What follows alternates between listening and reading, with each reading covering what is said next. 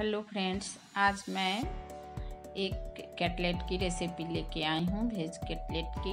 आप लोग एक बार ज़रूर ट्राई कीजिएगा और यदि आप लोग नए हैं मेरे चैनल पे तो प्लीज़ मेरे चैनल को सब्सक्राइब कीजिएगा, एक प्यारा सा कमेंट कीजिएगा और लाइक कर दीजिएगा। तो चलिए स्टार्ट करते हैं। तो ढाई ढाई सौ ग्राम चुकंदर और मैं गाजर ली हूँ और ये ढाई सौ या तीन सौ ग्राम होगा क्योंकि मैं नाप के नहीं ली हूँ। आलू आप अपने अनुसार देना है और अदरक, लहसुन हरी मिर्च का पेस्ट बनाना है। इसको ग्राइंड कर ली हूँ और ग्राइंड करके मैं साइड कर दी हूँ। अब मैं पेन को कढ़ाई गैस पे चढ़ाती हूँ। मैं मूंगफली फ्राई कर लेती हूँ।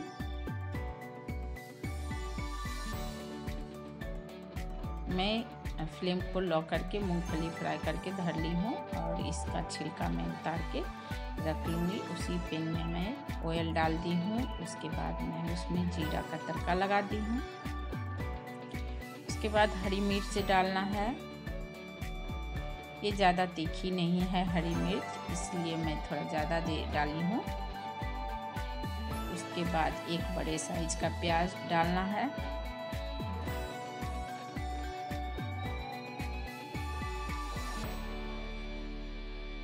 इसको भी फ्राई करना है अच्छे से ज़्यादा ब्राउन नहीं करनी है। उसके बाद मैं इसमें पेस्ट डाल दी हूँ, हरी मिर्च, लहसुन और अदरक का। इसको भी फ्राई कर लेती हूँ।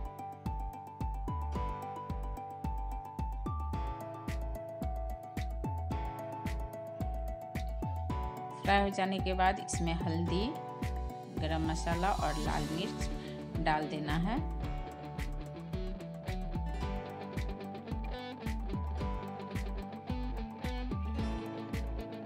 उसके बाद मैं आलू डाल देती हूँ। आलू बॉईल करके मैं रखी थी, उसको मैश कर दी हूँ। मैश करने के बाद इसमें मैं डाल देती हूँ।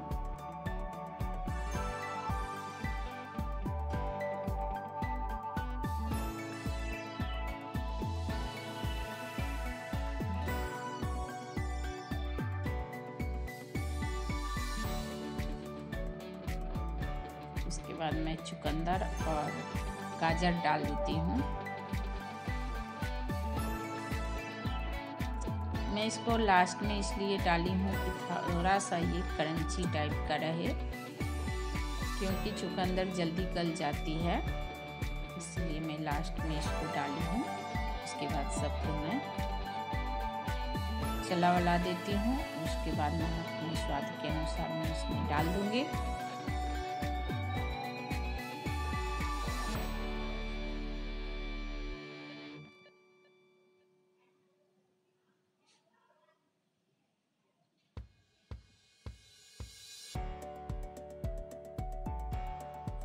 नमक डालने के बाद फिर मैं इसे अच्छे से मिला लेती हूँ। मिलाने के बाद मूंगफली डाल के मैं सीधे इसे नीचे उतार दूँगी ठंडा होने के लिए।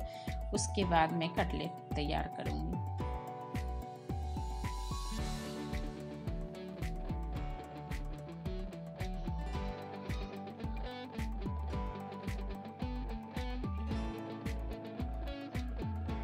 मैं एक फिर से बड़ा सा बाउल ले ली हूँ। उसमें मैं तीन से चार चम्मच आड़ा रोट डाली हूँ। आप इस मैदा का भी घोल बना सकते हैं, लेकिन आड़ा रोट तो थोड़ा अच्छी होती है। और मैं आड़ा रोट को घोल ली हूँ और मैं सूजी ले ली हूँ। आप ब्रेड क्रम्स भी ले सकते हैं। अब मैं कटलेट बना लेती हूँ। मैं ऑयल ले ली हूँ ऑयल इसलिए ली हूँ, थोड़ा हाथ पे मैं लगा लूँगी जिससे वो कटलेट बनाते समय हाथ में सटे नहीं। मैं छोटी छोटी लोई कर लेती हूँ और इसमें कटलेट का एक सेप दे देती हूँ।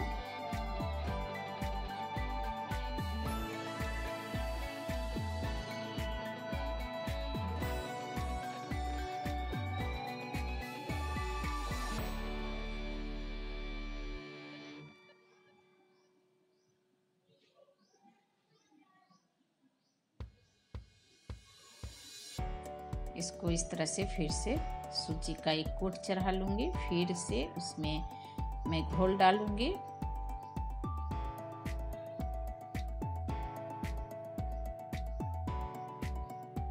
फिर से मैं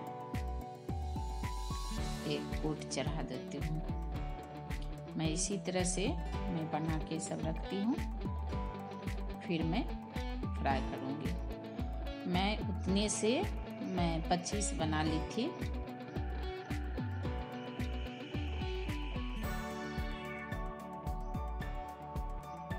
अब मैं पैन चढ़ा दी हूँ, उसमें ऑयल डाली हूँ। ऑयल ज़्यादा डालने की ज़रूरत नहीं थी, इसलिए मैं नहीं डाली हूँ।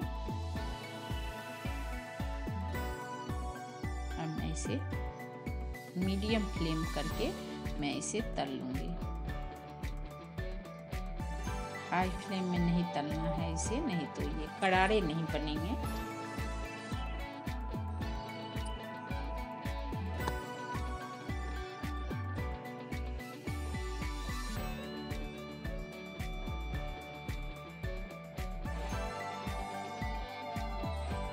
अब ये हो गए हैं, मैं इसे निकाल लेती हूँ।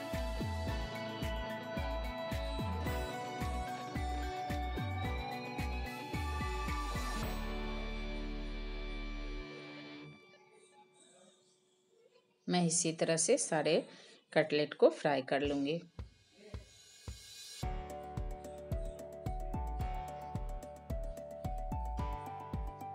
मैं तोड़ के दिखाती हूँ।